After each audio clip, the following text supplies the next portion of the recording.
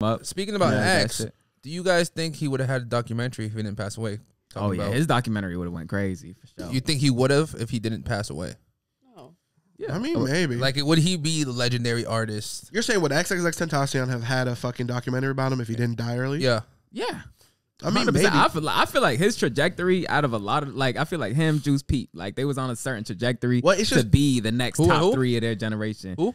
Uh, X, Juice, and Peep. Oh, I thought you said I feel you. like- I said, oh my god, get Oh, the shit. fuck out of here. Listen, listen, listen. I would have give me my first one. Give me my first. Shut the fuck up. oh shit, bro! I'm always Nah, trying. nah, just forget it. saying Forget it. is- Nah, nah, you're too late. You're too late. There we go. Shut the fuck up. I